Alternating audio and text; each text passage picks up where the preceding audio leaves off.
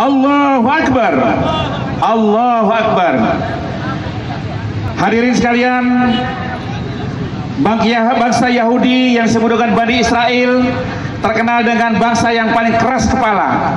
Bahkan dalam Al-Quran dikatakan Summa qasat qulubukum min ba'di dzalika fahiya hijarah. Hati kalian keras seperti batu bahkan lebih keras dari itu. Betapa banyak nabi dan rasul Allah utus kepada umat Bani Israel, tapi sedikit pun mereka tidak ada membela para nabi dan rasul. Bahkan nabinya ada yang dibunuh. Nabi Zakaria digergaji di tengah kebun, Nabi Yahya disembeli, bahkan Nabi Isa pun nyaris mereka bunuh, mereka habisi.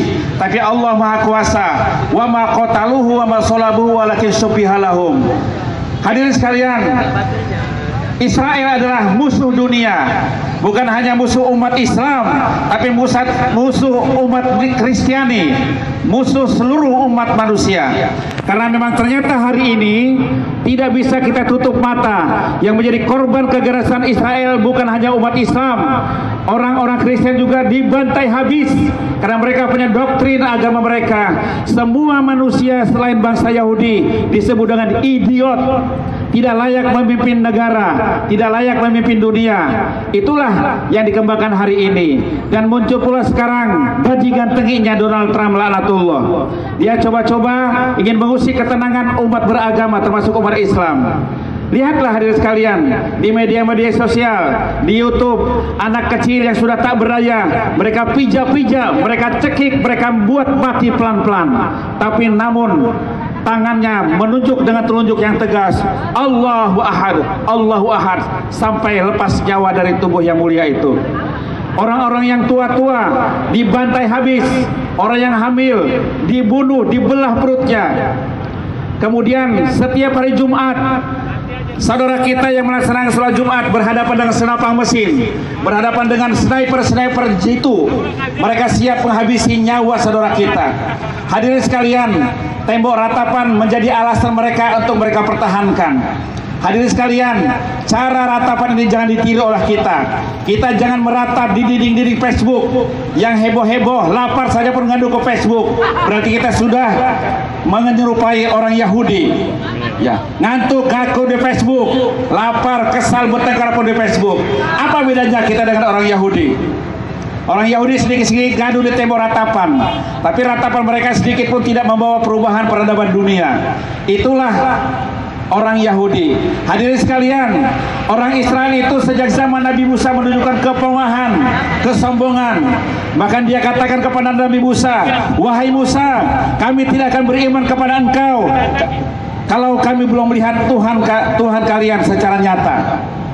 Bahkan mereka tantang, menantang Nabi Musa, kami tidak akan percaya kepada Tuhanmu hatta narallah jahroh sehingga melihat langsung bahkan ada lagi amtirna alaiha alaina hijrat minas sama kalau memang adalah Tuhan kalian coba hujani kami dengan hujan batu Begitulah kebiadaban orang Israel.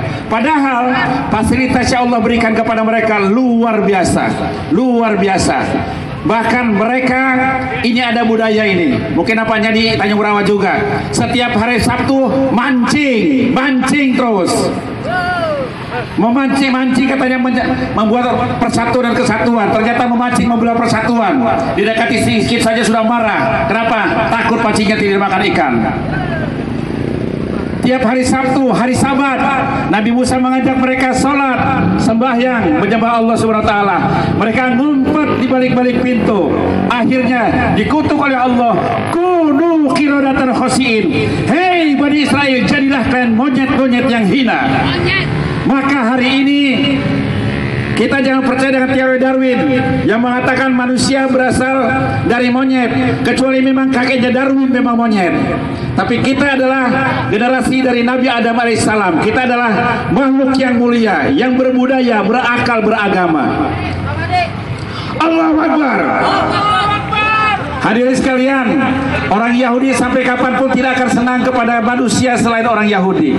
Lagi-lagi saya katakan, bukan musuh, bukan hanya musuh umat Islam, tapi musuh semua yang beragama. Maunya hari ini pun yang berkumpul bukan hanya umat Islam. Mana umat Kristiani? Mari berkumpul di sini. Di Belgia orang Kristen berkumpul sekarang. di Eropa, di Prancis, di Inggris demonstrasi karena Yahudi telah membantai umat-umat manusia. Mereka yang punya memiliki super supermarket, mereka bongkar produk-produk Israel, mereka buang, mereka buang ke paret-paret ke lubang-lubang sampah karena dengan membuat seperti itu berarti akan merugikan perekonomian bangsa Yahudi dan Israel. Hadirin sekalian, marilah kita yang tinggal di Sumatera Utara berperan sekecil apa pun adanya. Karena Allah katakan inilah la'udhi'u amala amili minkum. Aku tidak akan menjanjikan apa saja yang kamu lakukan untuk kepentingan agama ini. Kita tidak mungkin berangkat ke Israel, ke Palestina untuk memutus saudara kita. Marilah kita lakukan paling tidak dengan doa, berikan sumbangan, nafkah, sedekah kepada panitia pengumpulan dana. Dan percayalah, semua dana yang kami kumpulkan akan kita kirimkan untuk saudara-saudara kita. Kita akan bangun rumah sakit di sana. Kita berikan bantuan akomodasi, konsumsi untuk saudara kita yang ada di Palestina. Hari ini mereka pernah berduka. Mereka sampai hari ini pun sesusah apa pun yang kita salut kepada mereka, tidak ada satupun anak-anak presiden jadi pengemis. Mereka lebih mati diterjang peluru, lebih baik mati diterjang peluru daripada harus mengemis kepada orang-orang yang ada di sana.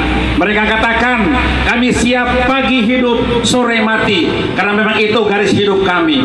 Nah, kita yang di Indonesia beruntung, tidak ada yang mengganggu kita. Kita sholat nyenyak, kita ke gereja, ke gereja tidak ada yang mengganggu. Kita ke wihara tidak ada yang mengganggu. Semuanya aman-aman saja. Tapi bisakah kita tidur nyenyak sementara saudara kita di sana dalam keadaan duka nestapa yang tiada henti.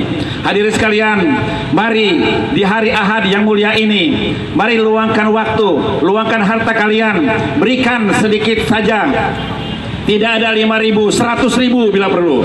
Karena tidak ada uang pecah. Jangan sayang-sayang. Karena apa yang kita berikan ini dicatat oleh Allah Subhanahu wa taala Tuhan yang Maha Kuasa. Tanjung Merawa, Deli Serdang, Sumatera Utara, Indonesia. Hari ini semuanya bergerak untuk membela saudara kita di Palestina. Allahu Akbar walillahilham. Assalamualaikum warahmatullahi wabarakatuh.